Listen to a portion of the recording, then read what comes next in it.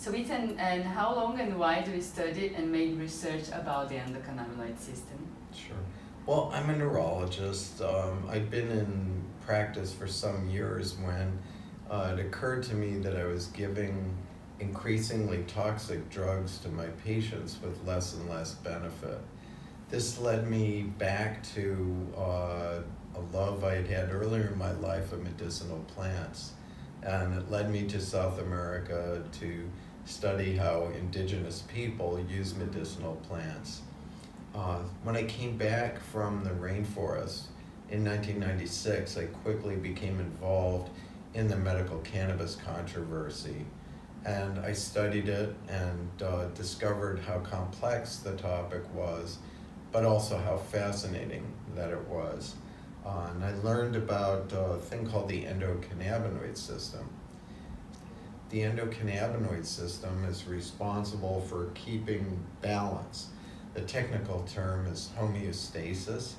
So if there's too much activity in a system, it will bring it down to where it should be. If there's too little, it brings it up to where it should be. Well, it actually is the main regulator of how our bodies work, whether it be the nervous system, the gut, even bone formation. So it's something that intimately regulates uh, every aspect of our daily lives. The unfortunate thing is that uh, even today, it's not taught in medical schools for the most part. Um, and that's crazy because in our brain, there are more receptors for the endocannabinoid system than there are for all the neurotransmitters put together. The system was described in the early 1990s but that's been enough time that it should have been adopted better. I think it has a lot to do with an association with cannabis, uh, which isn't fair because this system is older uh, than the plant. Yeah, we have evidence that cannabis plant uh, have anti-inflammatory effects. Can you tell us about it? Sure.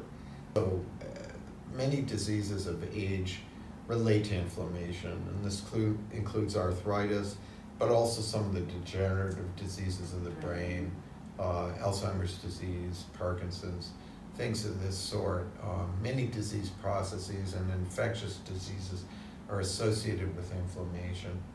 Um, so there are various approaches again to this, including diet, uh, but cannabis is filled with anti-inflammatory compounds whether it be THC, cannabidiol, um, and the terpenoids, many of them combat inflammation and, and help prevent these kind of progressive disorders. I used to, to say to my patients that um, doesn't exist a magical pill because you have to change the lifestyle to be able to also to control inflammation. But cannabis is a great tool uh, when everything is done together. Yes, true. So patients that are new to medical cannabis therapy, sometimes uh, they're worried about the side effects.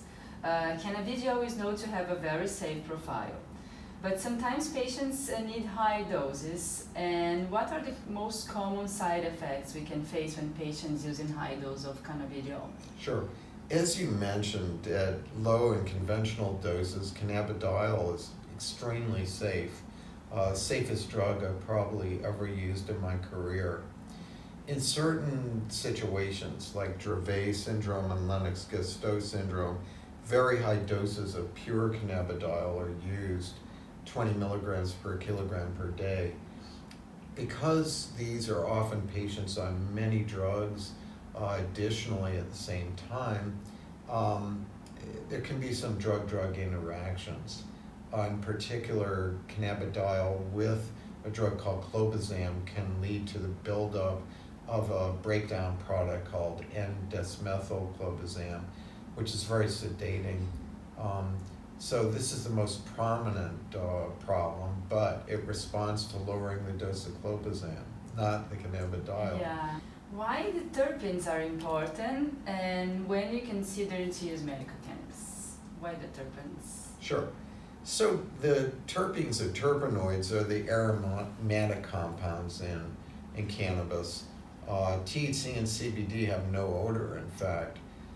So the terpenoids uh, that are produced with the cannabinoids by the plant work together to make a more effective overall medicine, uh, as opposed to THC alone, which is a very difficult medicine to tolerate, uh, has many side effects that can be counteracted when it's used in combination with cannabidiol or the terpenoids.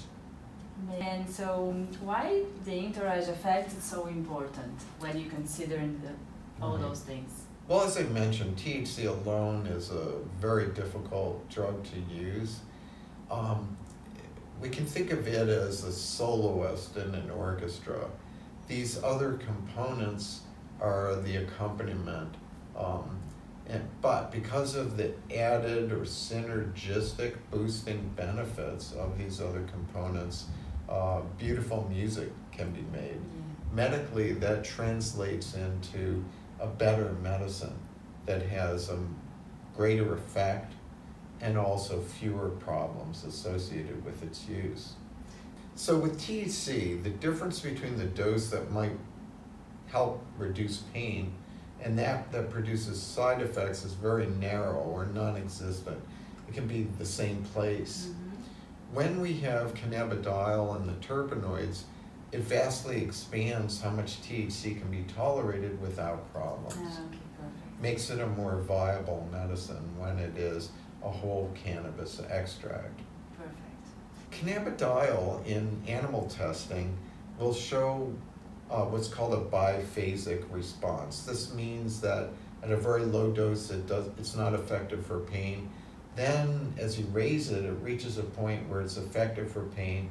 But if the dose is too high, it falls off again. So this is strange. Most drugs go like this. Yeah. When cannabidiol is combined with the terpenoids in an extract, in other words, when the plant's components are all there, we don't lose the benefit on pain at the higher dose. Ah, It continues to be effective for pain at whatever dose it's taken. So this is better, On it- it's a clear uh, reason that uh, whole plants are often better medicines than single components. perfect. There are any messages you want to say to Brazil for the, the public is listening? Well, I hope that people will retain an open mind about cannabis. We've heard for decades about how dangerous or addictive it is, and quite honestly, this has all been exaggerated. It is absolutely tr- true to say that any drug will have side effects when it's overused. People should understand that there is a world of difference between people smoking cannabis all day for a recreational effect as compared to its use in a medical context, Sure. where the idea is to use the smallest amount that will help reduce pain or other symptoms, and with the aim of avoiding side effects, especially intoxication. Uh, but this is a very health promoting drug, uh, and I hope that people will give it due consideration. Thank you. Thank you very much. Muito obrigado. Muito obrigada.